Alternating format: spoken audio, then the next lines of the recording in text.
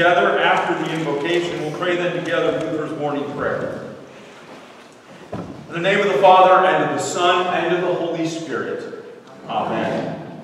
I thank you, my heavenly Father, through Jesus Christ, your dear Son, that you have kept me this night from all harm and danger. And I pray that you would keep me this day also from sin and every evil, that all my doings in life may please you. For into your hands I commend myself, my body and soul in all things. Let your holy angel be with me, that the evil foe may have no power over me. Amen. All right, what I want to do here today is we're going to start here by just kind of a quick finish up here where we were last week. I had erased here the Roman Catholic view, but we'll just put up kind of for the sake of the one-stop shop here. The Roman Catholic view is there's no forgiveness in the sacrament, and then we've got there's there's no forgiveness over here either. And so we kind of say there isn't in the Calvinist view, for the most part, either.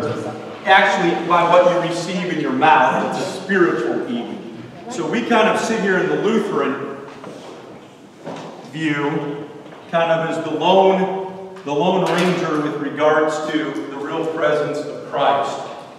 And I want to, and I want to read something here, turn and find it from Christian Dogmatics. This is written by Francis Pieper, well over 100 years ago, but he was our synodical president, the president of the seminary in St. Louis for, I think, close to 50 years.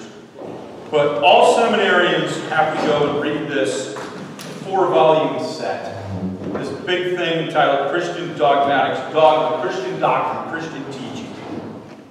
And I found this quote as I was reading about some other things this week, and here about the Roman Catholic Church and the Protestant Church, but especially the Roman Catholic Church with regards to why they remove forgiveness from the Lord's Supper. I'm just going to read it. It's two sentences. The Roman Catholic Church removes the forgiveness of sins from the Lord's Supper with an anathema. I read that from the Council of Trent. Anybody says that the principal thing you receive in the sacrament is the forgiveness of sins, let him be eternally condemned, and sent to hell. So the Roman Catholic Church removes the forgiveness of sins from the Lord's Supper with an anathema, as we approved by quotation from the Council of Trent. Why Rome so energetically eliminates the forgiveness of sins from the Lord's Supper is quite understandable. And this is the big sentence. The kingdom of the Pope stands and falls with its doctrine of the uncertainty of the remission of sins. The kingdom of the Pope. That's, that's an incredible statement from one of the kind of main guys that's a founder of the Lutheran Church Missouri Synod. Not at its beginning, but as it kind of grew. Dr. Francis Pieper. Is that the whole uncertainty is what allows the Roman Catholic Church to continue. Now, as we finished last week, I said the interesting thing is the Protestant Church and my Baptist friends would be kind of appalled by me saying it, but they're, they're, they're pretty much in exactly the same position, which is why over here, but they don't have the sacraments. Over here, you've got revivals and everything else because you can never be what? You can never be sure. You can never be sure. And it's kind of an amazing thing when some of my Protestant friends will come to a Lutheran church service or they talk to me about a Lutheran church service. One of the things they say is, I will never be a Lutheran, ever, because of what you guys do at the start of your church service. There's no way in the world a pastor can stand up there and say, I forgive you all of your sins. There's no way a guy can do that. And that's why it's great what you guys do. Thank you for Martin Luther and everything else. But you guys are entirely left. There's no way in the world a guy can say, I forgive you, number one, but to then use the three-letter words, all. I forgive you all of your sins. In the name of the Father, Son, and Holy That's no way. You, you just don't know for sure. You don't know for sure about everybody out there. That statement can't be made. Which again is kind of the interesting thing is, it was Jim who kind of was talking to me after church, here after the first service, and said, well, you doing some reading or something? Oh, yeah. It was a Muslim Christian who said, you guys who've grown up in the Christian church do not understand this thing called forgiveness and the amazing thing that you have. And, and it really is, I think, for us here as Lutherans, that you have the assurance, you come to church and you hear those words, all of your sins are forgiven. That's not some, not maybe forgiven, might be forgiven, possibly forgiven. Your sins are forgiven. That you that you hear that. That that is an amazing thing. And as Lutherans, that's what we say the church is all about. That's why it exists. I'm not here as a cop to check on you to see what your sins are, if you're truly repentant, or put you on an anxious bench in front of church and make you sweat. You know, and I'm not I'm not gonna, you know, say your sins are forgiven until I really see you sweat and crying. Then I might say that you're forgiven. But you come and hear that your sins are forgiven. That is truly an amazing thing. And, and as Francis Pieper says here, I, I think he's right on it. What keeps these two things going is the fear, am I Am I forgiven? That was Luther's great fear. Am I forgiven? Here, you come and you hear, your sins are forgiven. You come to the sacrament, take eat, take drink, the body and blood of Christ, given and shed for you. Not for some of you, but now you're giving a person for you for the forgiveness of all of your sins. You hear it over and over and over again. These two camps over here would sit here and say, wait, wait, wait, wait. No, I just, how, how do you know for sure this, that, and the other thing? And, and Lutheranism is, uh, what, is, what does the Bible say? Your sins are forgiven. One of, one of the great things, I, I reference this a lot, and I truly did have an impact on me as a kid. Watching, I think it was on NBC, back when I was second grade or third grade or whatever, it was Jesus of Nazareth, miniseries. That was, when I was a kid, uh, my grandma and my, my mom and aunts were big into all those miniseries. You know, it came out with north and south, east and west, how the west was won, you know, all, and then, you know, you go over to grandma's house and they all sit there and watch them all. Some of them I got into, some of them I really didn't, but the Jesus of Nazareth one really did interest and really impacted me. And I always, that's why I make my kids suffer through it every Wednesday. and we watch it during Holy Week, the whole kit and caboodle. But um, that scene with the woman caught in adultery, where she's there and they're all going to stone her. Was it John 8 and everything else? I was thinking about that this week. And then it's just an amazing scene that uh, Franco Zeffirelli, who did Jesus of Nazareth, Nazareth, has Jesus there. And the woman, you know, everybody's going to kill her and everything else. And then Jesus says, well, it's great. You guys have at it. He was, you know, without sin, cast the first stone. And then they all leave. And then Jesus turns to her, you know, she's cowering up against the stone wall. She's afraid she's going to die. And, and, Jesus goes, Is there anyone left to condemn you? And she said, No. And then Jesus says, Well, neither do I And then he, he inserts this statement of absolution, which is truly amazing. He's, Jesus says to the lady, Your sins, and he says, which are great and are many, all are forgiven. Go and sin no more. And it's just, it's an amazing uh, piece of uh, cinema there, uh, how that's all set up and the tension is there. But that's truly what Christianity is all about. You have everybody else here ready to con condemn this woman, and Jesus steps in and says, all of your sins, and they are many. And I love that little line that he inserts, and they are many. All of them are forgiven. Now go and sin no more. And it's, it's just a it's just an interesting thing. But that's that's what Lutheranism is all about. Is Luther really went wild for him with the words of institution on two things. Number one, for you, and number two, as we've seen in the Catechism, for the forgiveness of sins. And I, and I was thinking about it this week too, about something that really kind of impacted me as a young pastor when I was out at the Zion Lutheran Church in Aspen, Colorado, where I was there for probably three Sundays, and we had had communion for those three Sundays.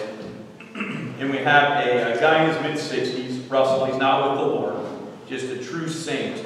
But he was always the usher, last one to receive the Lord's Supper. Every time I, I came by, and uh, he took the common cup. We had individuals in the common cup. But I'd come by with the host, and one of the elders would have the, the common cup, and, and I'd look down at him and I'd give the blessing, and he was there. These are the last couple of people um, who was there. Sometimes he was even there by himself after everybody else had, had taken the Lord's Supper. But you would just see him just crying.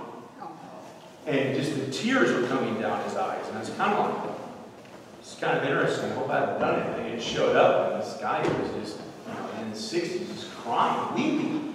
So, as just kind of bothering me for a few weeks. Well, the third week, after the third Sunday, phone rings in the office.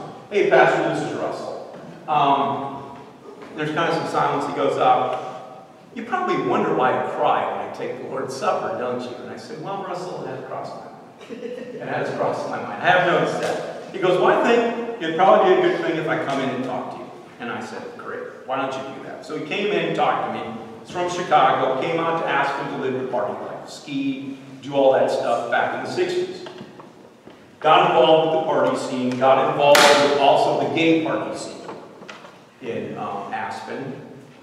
And uh, his partner, whom I eventually met when I was there, was, was uh, ex-partner, I should say, was dying of AIDS.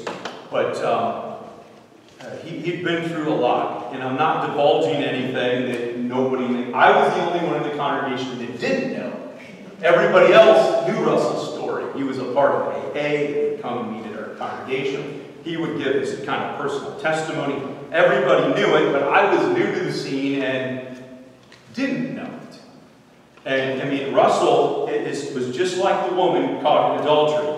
He came in my office and he said, Pastor, my sins, I'm not going to divulge them all. But here's kind of my story that I, everybody in the congregation knows, most of the people in the community know. Here is my story. And he goes, I grew up Lutheran in Chicago, wandered away, got involved in X, Y, and Z with all this stuff. And then I hit rock bottom and uh, went to AA, had some other things. My uh, ex partner uh, had AIDS, and it just everything blew up. I came back to church, talked to the previous pastor, got involved back in church again, and to hear the words and to receive the body and blood of Christ for the forgiveness of sins. You don't know what that truly means to me. That my sins, and they're many, are truly what? Forgiven. And that's why when I come to the altar, and until the day that I left, you would see those tears coming down his eyes. It's truly an amazing thing. But as Lutherans, I think that's what we need to really zero in on, is that we rejoice, in as I've written down here, the beauty and clarity of those words of Jesus, this is the body and blood of Christ for what? The forgiveness of sins. And I think we're sitting in a unique position here in Lutheranism. It was Kurt kind of after Thursday's endowment committee meeting, kind of like we had the, the Bible study after the Bible study, where people stayed around for another hour and had questions. We kind of had a Bible study after the Thursday endowment committee meeting where some people stayed around and talked. But, you know, Kurt says as a dentist, I talked to a lot of people, this, that, and the other thing, and they're just burned out and beat up from, from this and from religion. Have I done enough? What do I need to do? This is what I'm supposed to do and they're just and they're just burned out. Is that kind of a fair? Yeah, I mean it's the, the, the quick 10 second version of it. But people are, are just burned out by it because this is what they're getting on both ends of the spectrum and in non-Christian religions. But here we're sitting, this is something truly, I don't think, Mrs. Jim said today, I don't think we understand how unique this is. That for the forgiveness of sin, it's just, it's just an amazing thing. Because are we dealing with a control issue with the Catholics and the Protestants? And that just like Jesus dealt with the scribes and the And the Pharisees. Yeah, you, you need you need us, and you're never totally really sure. And most of you aren't going to make it on the first shot, but then there's purgatory, where you purge away the sin, and then you know, and then you'll get righteousness. Maybe somewhat, but it's just, it's just the system of, it's, even within Christendom, you see the gospel is, it's, what Kurt said. It can't be this, it can't be this easy. It's almost too good to be true. Yes, Cheryl? And it is. So what do they do? They Do they get stuff from, it is finished on the cross, and you, as a man, are not enough, or there's a conflict between total forgiveness? It is, because it's just, there's got to be something that I've got to do. There's got to be something I've got to do. And it's with the sermon today, well, if you want to do it, you got to kill yourself. You, mean- you, you, you would have to, you would have to whack yourself. It's the only way. You can't, you can't do it. You can't, number one, get rid of all your sin, because you're the problem. And number two, as I talked about in Bible study Thursday morning, even if you could do the law of God, as Jesus has in the parable with the master and the servant, after the servant has done all that he's supposed to do, don't come in and ask for a reward because you've only done what you were supposed to do. Just like I I said, there's nobody going to pull, and we'll do it today. Nobody's going to pull you over on the way home when the lights come on and the car, cop comes out and says, I want your registration and I, you know, I want your driver's license and your insurance card. And you're like, well, I was only going 28 on Michigan Street. I, there's no way in the world I can get a ticket. Oh, you're right. That's why I pulled you over. I'm not giving you a ticket. I just want your address because I'm going to give you a certificate. You're going to go to Mayor Listenberg's office. Mayor Listenberg will meet you tomorrow morning at 9 o'clock in his office he's going to give you a $1,000 check for not speeding. You don't get a reward for doing what's right. You're only doing what was required of you. So this, this whole idea that I should get a reward for doing something good, and that somehow I can get rid of my sin, is ludicrous because you can't achieve any of them. And even if you could, we're only back to square one. It's got to be God's grace. These religious leaders are leading these people down the wrong path. So are they going to become responsible for those people's sins? Because they're causing these people to sin and not giving them That's what forgiveness. Scripture says.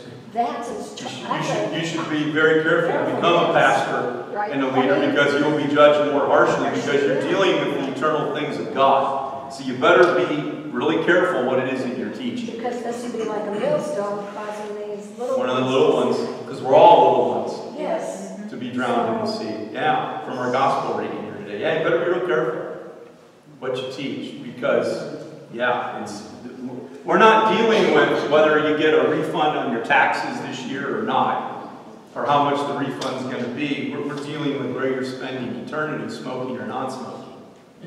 And that's, I mean, that's some, that's some pretty severe stuff.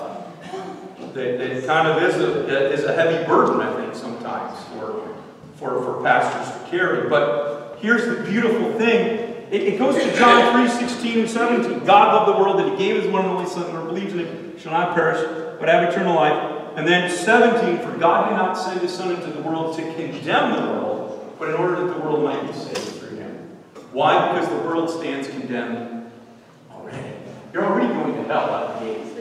So he's not come, he's not come to send you to hell. He's come to save you. He's come to seek and to save that which was lost. But I wanted, I don't want to spend a lot of time on it, but it is again, as I was reading, contemplating, and meditating on it this week, I think as I said last week, for somebody who's grown up in this, and this is the air that they breathe, we don't see this, this incredible beauty. I don't know what Jim said. We don't see the beauty of what we really have. Um, but when I listen to people talk, it's like they, they lure them in with the gospel, and then once they get them in, they beat them up with the law.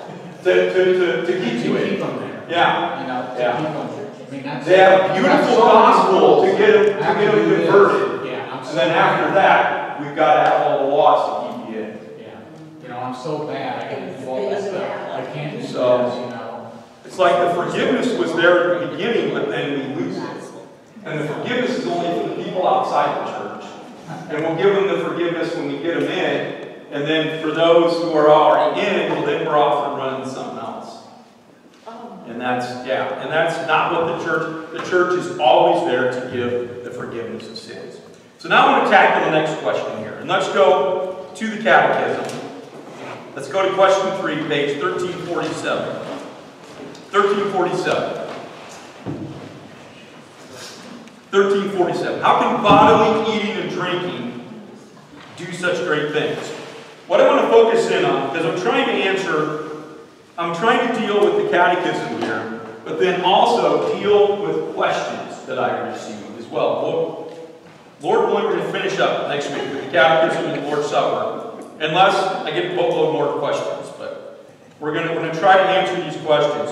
But it fits, this question fits so well, and it's a it's something that is constantly thrown at Lutherans, and that is, aren't you cannibals if you say Jesus is really, really present there? If this truly is his body and blood, and if that's what you're eating and drinking, then aren't you a cannibal? And isn't that against Scripture? And we see it here in the question how can bodily eating and drinking do such great things? And that bodily is a twofold. It's you're, you're eating the body and blood of Christ. But the body and blood of Christ is actually now in your body. But, but notice Luther's answer there. It's certainly not just eating and drinking. So Luther admits we are eating and drinking what? Body and blood. The body and blood of Christ. It's not just eating and drinking, but the words. It's always the word given and shed for you See, that's where it always goes. For you, for the forgiveness of sins. These words, along with the bodily eating and drinking, are the main thing in the sacrament. Whoever believes these words has exactly what they say forgiveness of sins. So the, so the big question here is, is I have been asked, what type of eating and drinking is it? Luther says it's a bodily eating and drinking. So, what does that mean? Are we cannibals? What, what are we eating and drinking? I want to go back here to something that we've got here in, uh, you guys, just kind of like in Thursday, we had, uh, as we dealt with Melchizedek, you kind of got a seminary education. You're going to get a little bit of one here again today. Because I'm going to let people who are a lot better at this than me answer these questions. So I'm going to let uh, our Lutheran confessions here, Luther and Francis Pieper, here kind of answer this. What, what type of, and then also Martin Kemp, it's the second Martin, which we'll get here in a moment, put together the formula of Concord in our Lutheran confessions. What are we eating and drinking? This is what Francis Pieper says here. He says, against this whole idea that we're cannibals, we must maintain this. Yes, the whole Christ is present, of course, as in the universe. Wherever Jesus is, there is bodies. So also, where two or three are gathered together in my name, there I am in the midst of them. Wherever Jesus is, there's his body and blood. The whole Christ. So, but against this, we must maintain, yes, the whole Christ is present, of course, in the universe. So also in the church, and in all rites of the church. But not in the Lord's Supper. That's an interesting thing. Not the whole Christ. Now that maybe is kind of a weird thing to hear, but let's, let's, let's hear him out on this, and then let's, let's hear out what our Lutheran fathers said, dealing Scripture. But in this sacrament, Christ gives something to be eaten and drunk with the mouth. And that is not the whole Christ, but Christ's body and blood, as the words of institution read. Jesus does not say, Take, eat, and drink my whole, my whole body.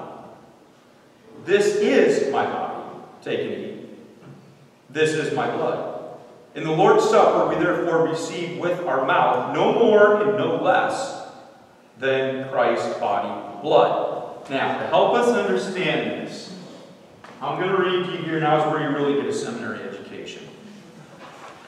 From this book, The Lord's Supper, by Martin Chemnitz. As I said at the end of last week, the Roman Catholic Church and the Council of Trent said if it wasn't for the second Martin, doggone it, the first Martin would have been forgotten. He would have died, there would have been no Lutheranism, and it just would have been on its way. And it would have been over with, and we would have been done with it forever. But the second Martin came along, who was taught by Martin Luther, And he was the one that helped put together the Book of Concord and the Formula of Concord. One of his great works is on the Lord's Supper. And he answers this question. This is considered to be kind of the big book here that you read. We're going to use this in a couple of spots.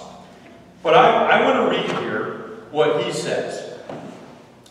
He says, on the basis of the words of institution, there's different types of eating going on in the Lord's Supper. First, you eat of the bread, which is rightly and properly called a physical eating. Do you eat bread? We know that when we read 1 Corinthians, remember? Don't you know that the bread you eat is the body of Christ? Don't you know that the cup that you drink is the blood of Christ, Paul says? So he says you're eating bread. That's what Chemnitz says. There's a physical eating. Second, there is also the eating of the body of Christ, which although it does not take place in that physical or gross way, according to the words of Christ, it does take place though orally.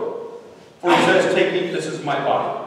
This is called a sacramental eating. So there's a physical eating, then there's also what our Lutheran fathers call a sacramental eating. Now, then he goes to some church fathers, Augustine and Cyril. And they talked about these people who are of the opinion that if it was the body of Christ that you were eating in the sacrament, then what we were doing was cutting up into small pieces the body of Christ to be given to eat, just as the flesh of cattle is sold in a meat market and cooked and eaten. But, it says here, Christ criticizes these people sharply. And St. Augustine would often reject this concept of cannibalism by saying, Does the rest of the food go through the digestive process? God forbid.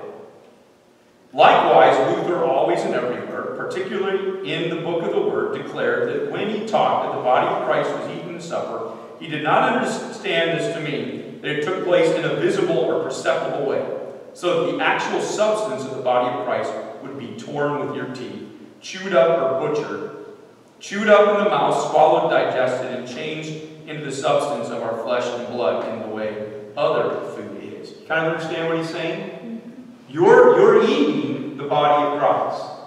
But it's not like you're eating steak. Right. You're, you're eating it in this special sacramental way. Same thing as we're going to talk about here in a moment. How long does the body of Christ stay there in that wafer? Now, it's not that I can take that wafer, run down to the lab here after a church service, take it to the lab at the hospital, and say, please test it and find the DNA of Jesus. You're not going to be able to what? Find it because as Luther says here, it's not the same way that you can find the DNA of a cow when you eat a steak. It's not the same thing. It's there, but not in the same way. How does that happen? Mystery. I don't know. Great mystery. Is what Luther will say. It's got to be. It is, but it's not the same way as you eating a steak. We're not cannibals here to where we're actually chewing on, all right, the actual, you know, body of Christ as if we're eating a steak or having a hot dog or so forth. So it goes on to say we must rightly and necessarily acknowledge and believe that in the supper there is more than just a spiritual eating, as you would say over here or over here. You're, you're eating bread and drinking juice and you're spiritually remembering Jesus who's far away somewhere. No, no, no, no. We don't, we don't go with this and we don't go with this.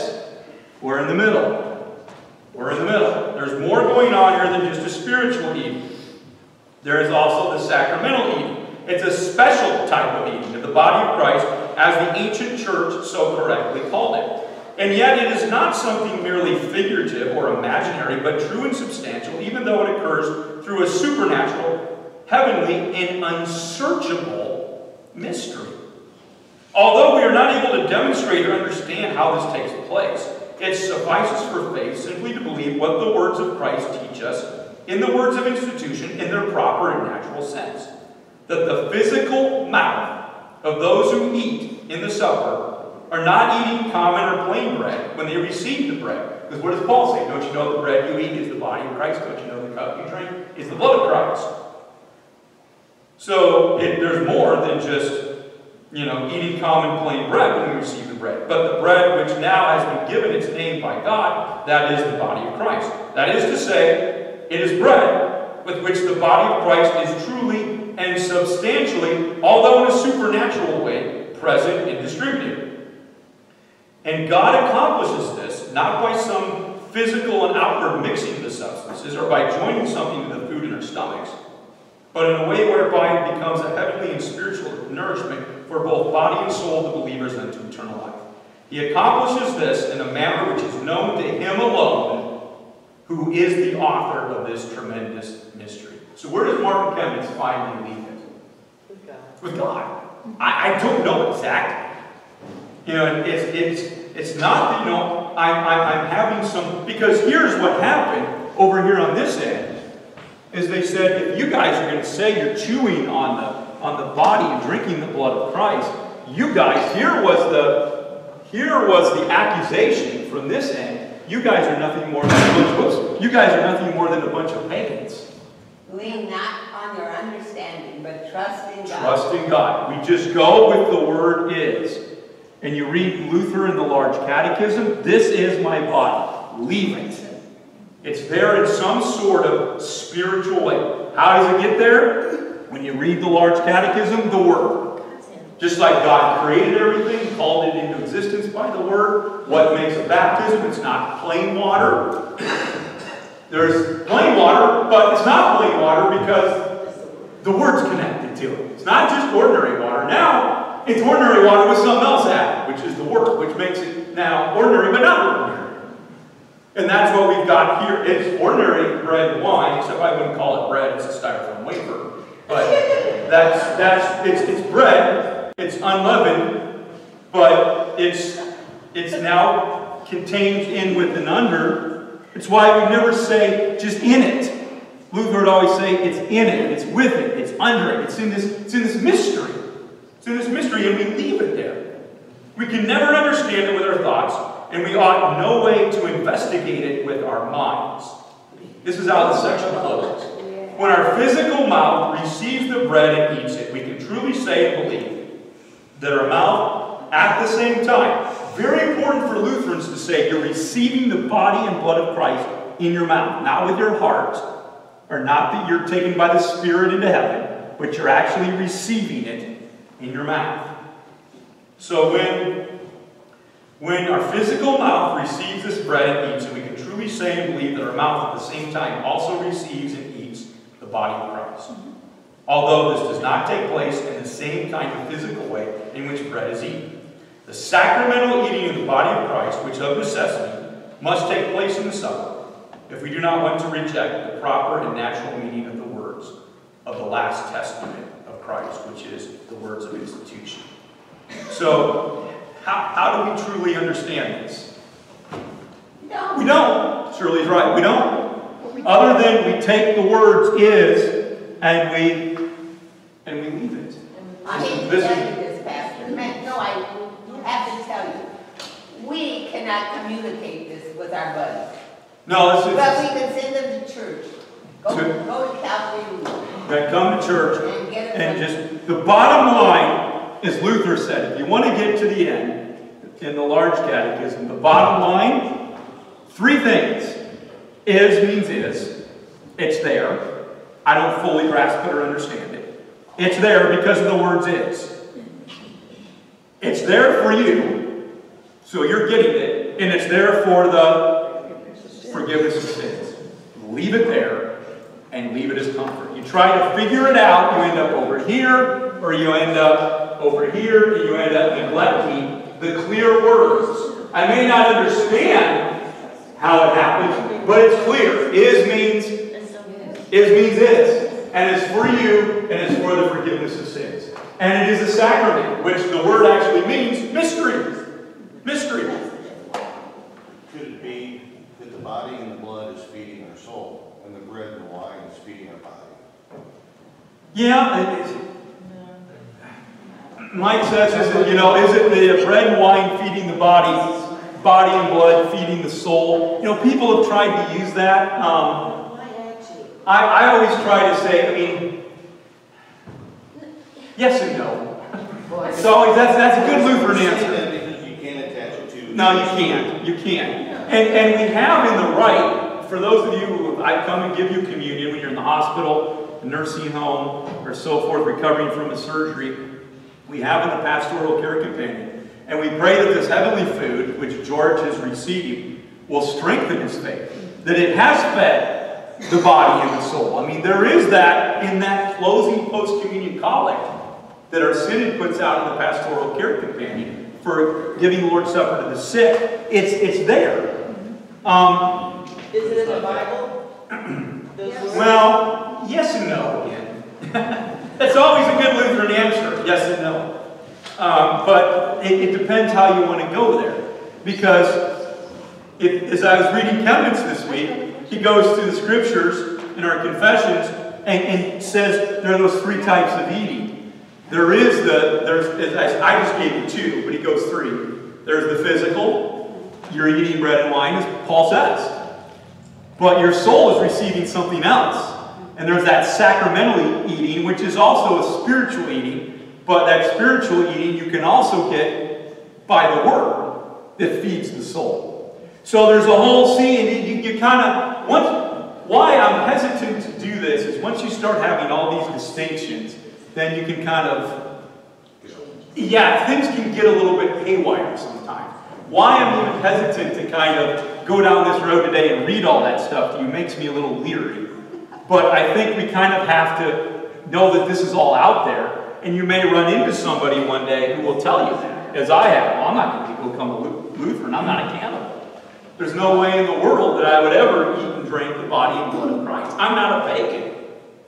So they would accuse us of pagan rituals, which is what the Romans actually did with the Christians at the beginning of the church. There's graffiti you can find on the walls of ancient Rome that say the Christians have these secret rites and they're pagans and they go and they're cannibals and eat the body and blood of Christ with cartoons. I mean, so it's it's been there from the from the very beginning, and it's and it's still out there. Yes, Gene.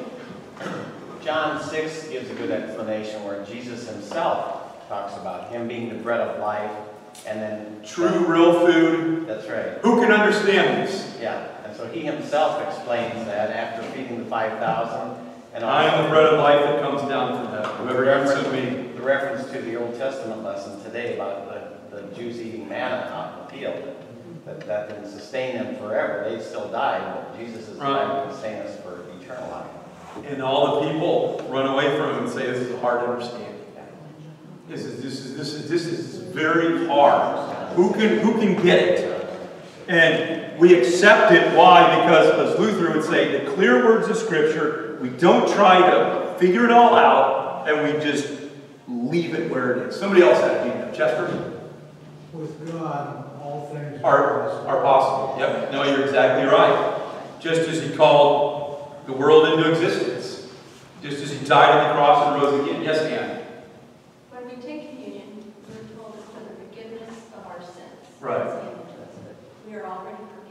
When great question. Ann says, we've already been forgiven at the start of the service, which you have. I forgive you all of your sins. A lot of times you'll hear it in the sermon. Sometimes it's in our readings. Why are we coming up again?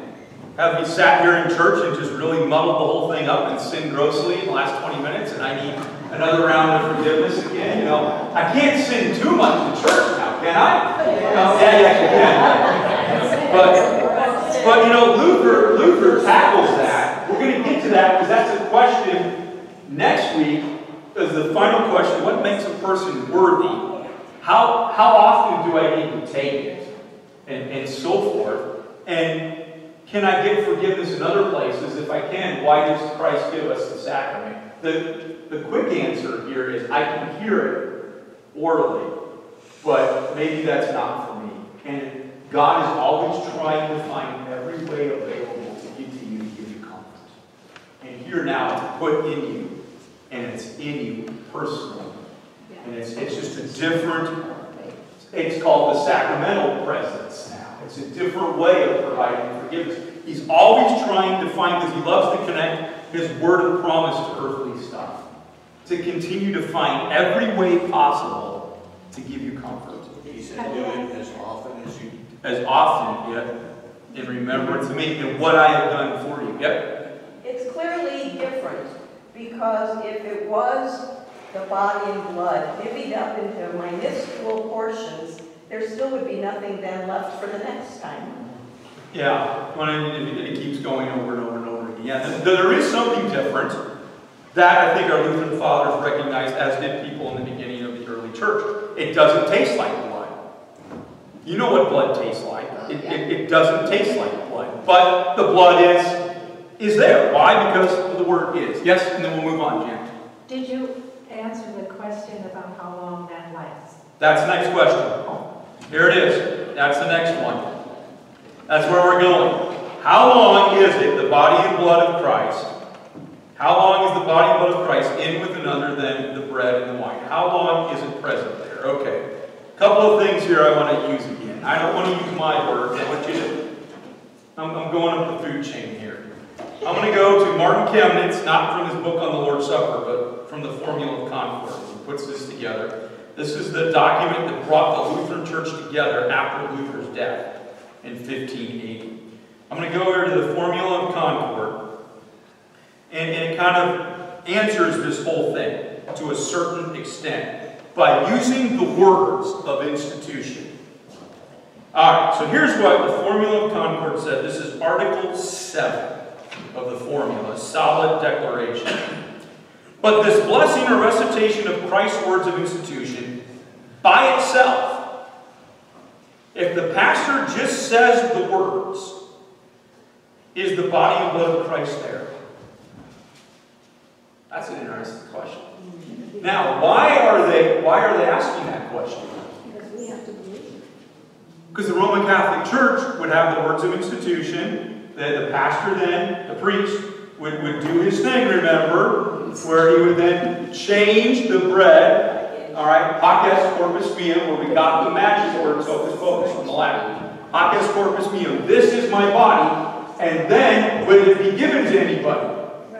No, they'd have the Corpus Christi parade, where then they would take, this is the body of Christ, and we'd go around the town. And then just by seeing it, all right, and then it always remains that, so then I come back to the, to the church, to the cathedral, and put it back in the tabernacle, and it always remains forever until it's consumed. It always remains the body of Christ.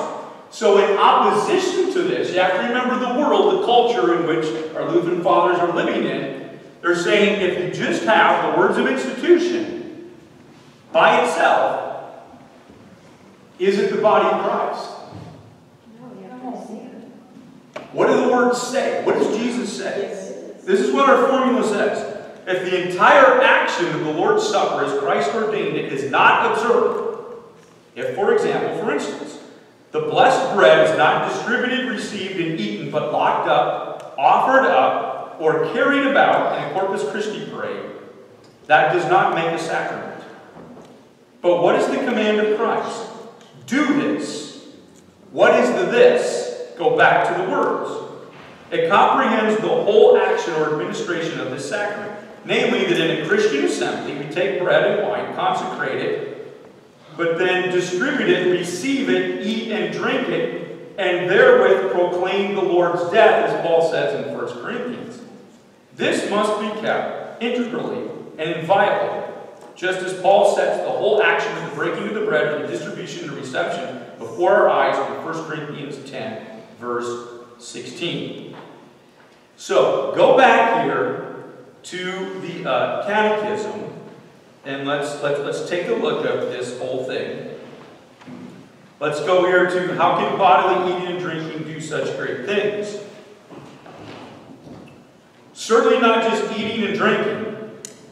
So it's not just the eating and drinking that gives you, because you can go that way. All I got to do is just eat it and drink it. Well, no, no, no, no, no. We have to have the words said too. Given and shed for you for the forgiveness of sins.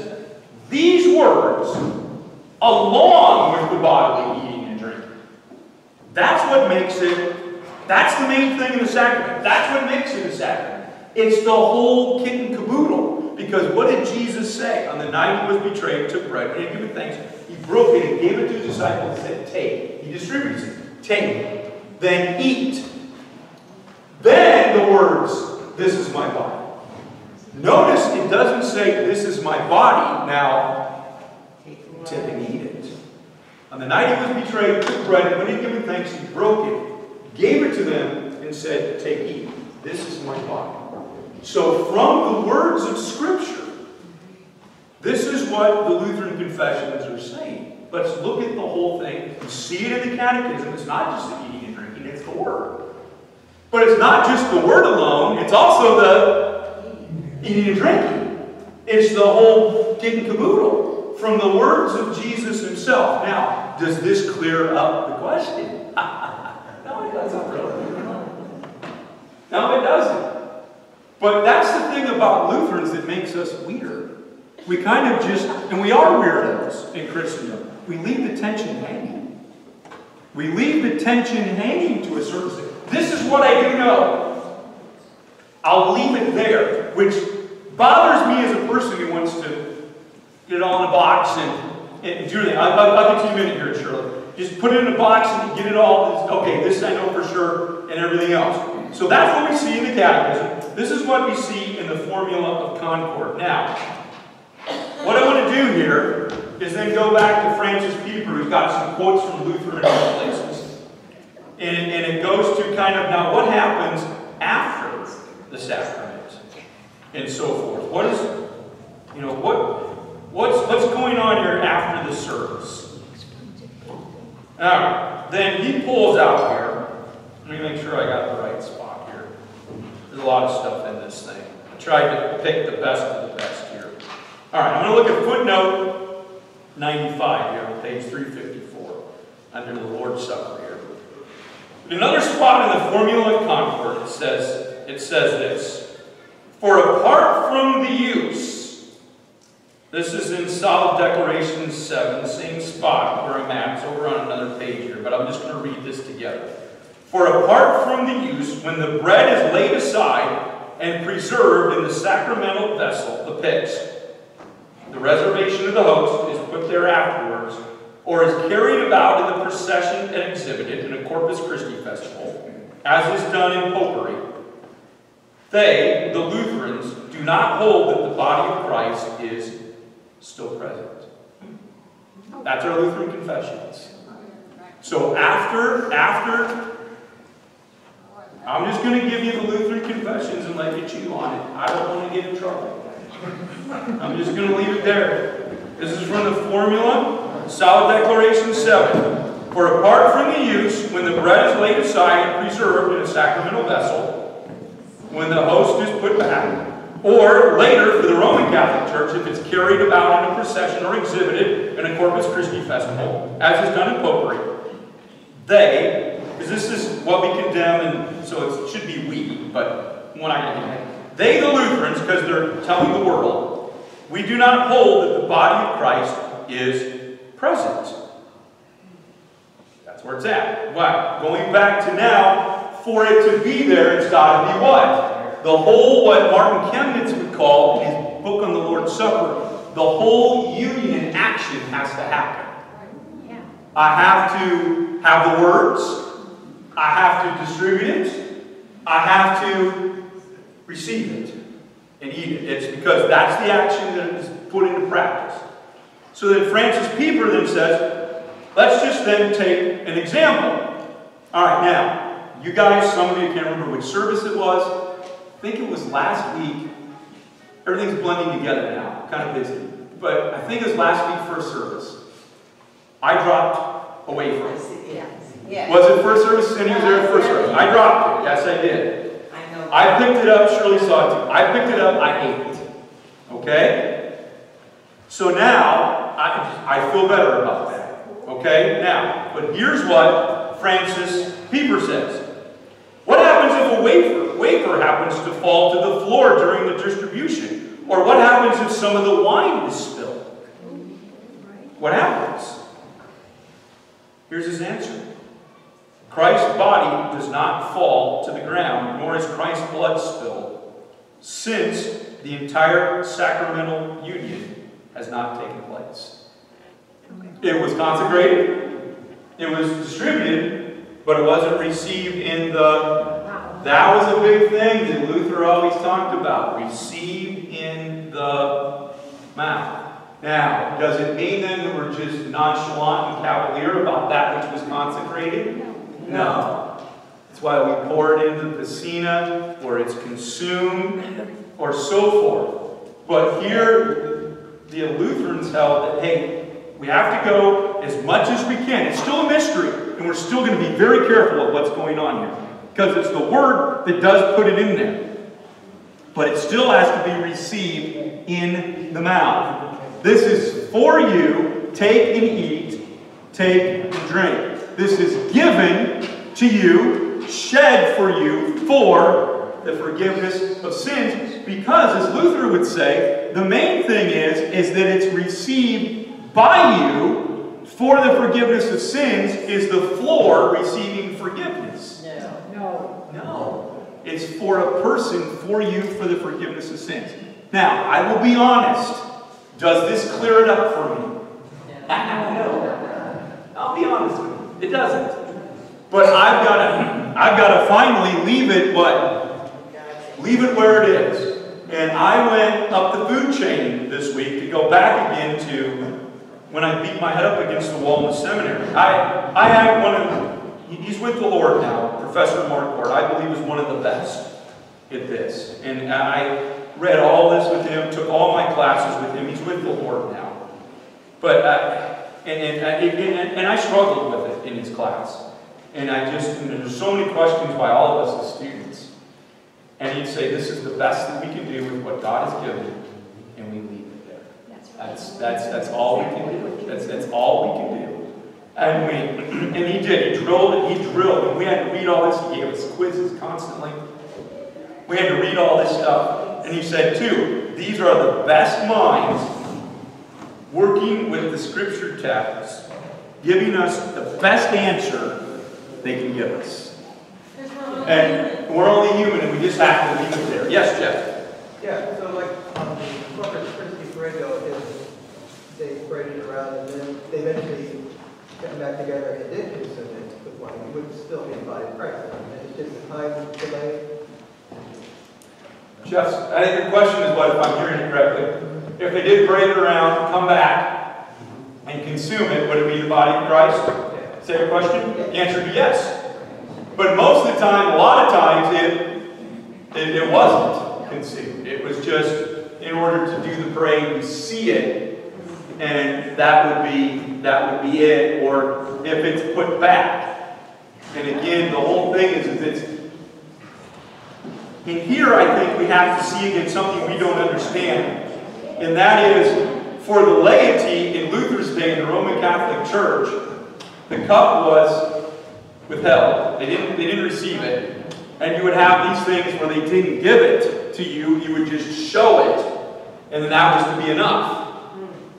And Luther said, wait, wait, wait, wait, wait, you're taking what away from the people? You're, you're taking, yeah, you're taking, yeah, you're taking away what? The comfort. This is for you. It's, the words are take and eat, take and drink. Not the priest drink it.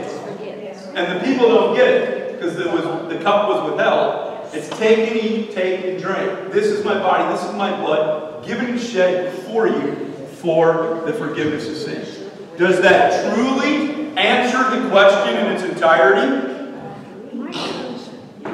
Not really. But I think it's as close. I think it's as close as we can get. Um, I think the pandemic, for me personally, I was near to tears to take communion after so many months And you of couldn't. not, I was empty. I needed to fill up, so how long does it last? Every person can ask for themselves. Yeah. But for me, We're gonna, we're gonna talk Shirley's question, her statement earlier with the pandemic, not being able to receive the sacrament. That's why you can't do church at home. You, you need the sacrament, you need to be here. You know, the question is how often do you need it? Uh, we will, that we'll tackle with the final question, God willing, and end this next week. We're out of time. But what makes a person worthy? We'll get to Chris's question. What do we need to do prior to receiving the sacrament? Luther will cover that. But then out of the gate is the question that I want to tackle that I've been receiving a lot over the last couple of years, but especially the last couple of months. And that is, what about the practice of early reception of the Lord's Supper for children? That now is becoming very prevalent in the church of Grace City. Kids that are five, six, seven years old, some even younger. This is a very prevalent practice. So it goes to the final question of the catechism, who receives the sacrament worthily? And that, so I'm trying to take your questions and plug them in to a logical place in the, in the catechism. We will tackle that one. And then, um, who should be admitted to the Lord's Supper? What makes, Chris is what makes a person worthy. I think I put them on sticky notes here, all the questions that I've got. And then Shirley's yet to deal with, it makes a difference where you go with the confession of the altar that you had mentioned at the end. And then there was Kurt's, should I, should, should little kids play church with the sacrament at home? Which I found some very interesting on the internet. If we have time this morning, I found that actually. I didn't think we were going to get to it, but I thought, ah, just in case, I better be ready. So, but those are the questions that are coming. And we will fit those into the final, what I hope is the final class. the final class. And you guys got good questions, so I will have to admit, making me work. Um, the final class here for the sacrament of the altar and for uh, the catechism here um, next Sunday, and that is who receives the sacrament worthily. And we'll, and we'll run through that here next week. So we're out of time. Let's close in here today with a uh, word of prayer. So let's pray. Lord God, Heavenly Father, this is the day you have made. Let us rejoice and be glad. We give you thanks that you truly are present here. For you say where two or three are gathered together in my name, there I am in the midst of them. You're here not just spiritually, but wherever you are, there is also your earthly body, now and forever. And we give you thanks that you're here to do really just one thing, and that is to forgive our sins. And we give you thanks that we can come to your house over and over again and hear those wonderful words and receive the body and blood of Christ for the forgiveness of all of our sins. May you strengthen our faith, and may that pour forth in our love for you then and in our love for one another. For we ask all this then in the precious name of Jesus, our Savior. Amen.